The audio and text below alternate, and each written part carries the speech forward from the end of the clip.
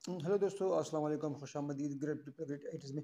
दोस्तों, ये तमिल के ऊपर आप लोगों ने देखा, ये बेसिकली हुकूमत की तरफ़ मेरा इशारा है कि mister Shahbaz Sharif and mister Ishaq Dar तो कहीं आप जो हमारी न्यू जनरेशन है यंग इंजीनियर साहिबान electrical civil mechanical software engineers तो इनको कहीं आप मौका दीजिए पाकिस्तान को संभालने के लिए, क्योंकि इनके अंदर टैलेंट है, क्योंकि आपकी कैबिनेट के अंदर जो बेटे हैं, जो वज़ीर सत्तर अस्सी साल वाले जिनको सूर्य फातिहा सूर्य खलास तक नहीं आता तो कैनली इनको मौका दीजिए पाकिस्तानी इंजीनियर्स को ताकि ये बाहर ममालिक ना जाए ओवरसीज़ पाकिस्तानी ना बने पाकिस्तान के अंदर ही ये खदमात सर अंजाम दे सके और मुल्क को तरक्की की तरफ़ गामजन कर सके तो जितने भी ये वीडियो मेरे दोस्त देख रहे हैं यंग स्टूडेंट्स मेल फीमेल और जितने भी अदर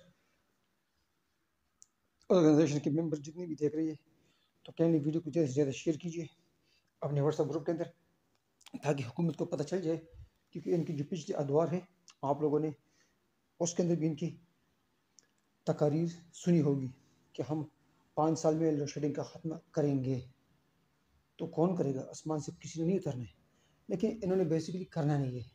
तो वीडियो को जितना शेयर हो सके, शेयर कीजिए ताकि वीडियो आपकी तरफ़ फैल जाए और इनको पता चल जाए कि वाकई यार, पाकिस्तानी कौम अब तंग आ चुकी है। क्योंकि न गैस है न बिजली और ना पेट्रोल। तो खुदा रहा यार, पाकिस्तान के ऊपर रहम कीजिए। ठीक है ना? ये बड़ी मुश्किल से पाकिस्तान आज़ाद हुआ है और इसके लिए काफ़ी कुर्बानी दी हमारी पाकिस्तान के बेटों ने। ठीक है ना? काफ़ी हमारी पाकिस्तानी ख़वातीन, हमारी हमारी बहनें बेवा हो गई। उन्होंने अपने जिगर के टुकड़ों को खोया पाकिस्तान की खातिर। तो ये प्लीज़ यार ट्राई टू अंडरस्टैंड पाकिस्तान आपसे रिक्वेस्ट कर रहे कि बस कर दे यार। हमारे मुल्क के ऊपर रहम कीजिए। ये ख़ुद आप लोगों ने स्टैंड बाई जनरेटर लगाए हुए बिजली जाती है। लपक चपक में आपके घर के अंदर लाइट ऑन हो जाती है। आप एक दिन तो घर, गरीब के घर आ जाए एक दिन गुजार दीजिए, चौबीस घंटे तो लग पता जाएगा आपको कि ये गरीब की ज़िंदगी कैसी गुजरती है। तो खुदा रहा यार प्लीज़ अल्लाह से डरी कि आप लोगों ने भी मरना है। आप लोगों ने भी अल्लाह को जवाब देना है क्योंकि सारी ज़िंदगी आप लोगों ने इस कुर्सी पर नहीं बैठना। ठीक है? ना तो इस आम जो ये बाबे शाबे जो आप लोगों ने बैठाई इर्द गिर्द सराउंडिंग इन बाबों को उतारिए और यंग स्टूडेंट्स को यंग इंजीनियर्स को यंग एंटरप्रेन्योर्स से मशवरा कीजिए चैम्बर ऑफ़ कॉमर्स के मेंबर से मीटिंग कीजिए और हमारे जो यंग इंजीनियर साहिबान हैं, इनको आप हायर कीजिए, इनको वजारत दीजिए ताकि पाकिस्तान ये कैसे संवारते हैं क्योंकि हमारे इंजीनियर्स हमारे डॉक्टर हमारे ताजर, बाहर हम लोग जाकर उस ममालिक में उस ममालिक को तरक्की याफ्ता बनाने में अहम किरदार अदा करते हैं। लेकिन बदकस्मती से पाकिस्तान के अंदर, जो हमारे इंजीनियर साहबान हैं, टैलेंटेड इंटरप्रेन्योर उनको पाकिस्तान की हुकूमत, क्योंकि वो गरीब माँ के बेटे हैं तो उनको पाकिस्तानी हुकूमत मौका नहीं देते कि ये कुछ कुर्सी पर बैठ जाए। आप लोगों ने कितनी साल कुर्सी पर बैठे हुए किसी ने मुल्क की खातिर कुछ कम नहीं किया। मसरफ पैसे बटोरे। अपनी जैदादी बनाई। तो कब तक करो किस तरह यार? ट्राई टू अंडरस्टैंड अल्लाह से डरो यार। क्योंकि हमने मरने दो हाथ खाली जाने। बड़े बड़े लोग आप लोगों के सामने चले गए। तो प्लीज़ अल्लाह का खौफ कीजिए।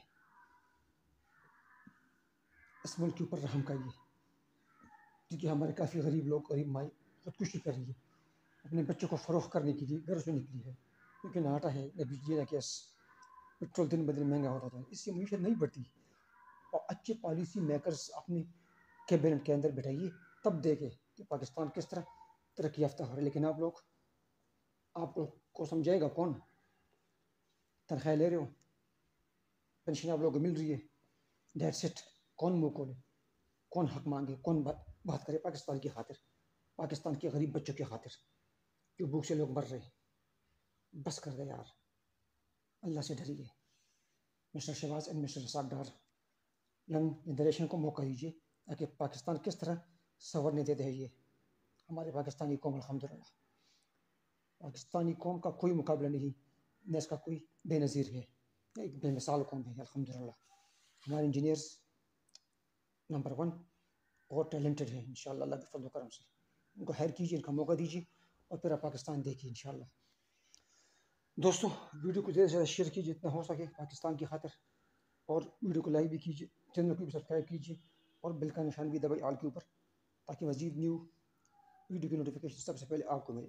दुआ में याद कीजिए और हाँ ज़्यादा ज़्यादा प्लीज़ अपने पेरेंट्स की रिस्पेक्ट कीजिए, क्योंकि आज आप और हम जिस मकाम पर है ये हमारे पेरेंट्स की दुआएँ हैं। पाकिस्तान जिंदाबाद।